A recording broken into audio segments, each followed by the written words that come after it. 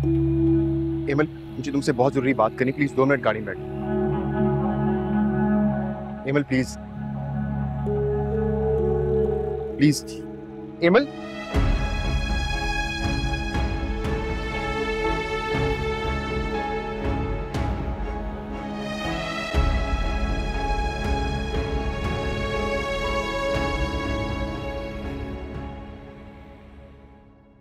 Mummy what is this आपने मेरे सारे अकाउंट बंद करवा दिए।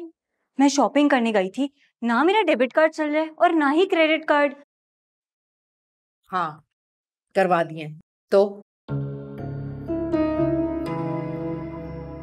आप मुझे कौन सी सजा दे रही हैं?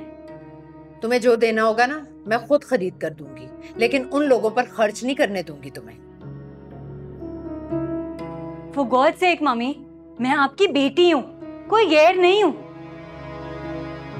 आज डैड ज़िंदा होते तो वो आपको मेरे साथ ऐसा करने नहीं देते। अगर वो ज़िंदा होते ना तो इस तरह से तुम लोगों को मनमानिया ना करने देते। उन्हें अपने स्टेटस का बहुत ख्याल था। हम्म, तुम्हारे ससुराल वालों को पहले दिन ही चलता कर देते वो। मम्मी आज के जमाने में स्टेटस को कौन देखता है? लोग शरीफ होने चाहिए बस। जो गलती तुम लोग कर चुके हो ना अब तुम्हारी बहन भी कर रही है।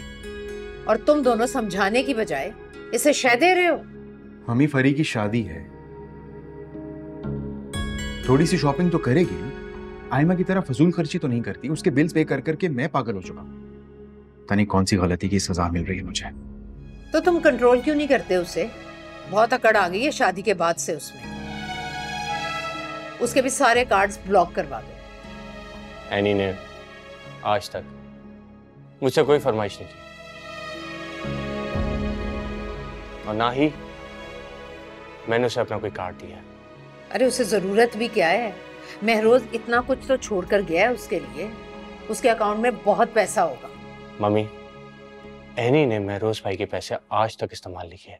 तुम उसे जानते नहीं हो लेकिन मैं जानती हूँ बहुत चालाक और घटिया लड़की है। सही वक्त का इंतज़ार कर रही होगी। उफ वो आप लोग तो अपनी बहस में लग गए। मेरा अकाउंट एक्टिव करवा दें मुझे शॉपिंग करनी है। यहाँ आकर आराम से बैठो। फारिग होते हैं तो चलती हूँ मैं तुम्हारे साथ। खुद दिलाती हूँ तुम्हें। कुछ जोड़े और एक आध सेट। फ़िलहाल इसी पर सब्र करो। बाद में देखूँगी। मैं अपनी शादी का ड्रेस अपनी पसंद से लूँगी। ना मुझे उनकी पसंद कबूल है और ना ही आपकी। फरी अभी भी वक्त है। मैं तुमसे कह रही हूँ कि सोच लो। मैं सोच चुकी हूँ।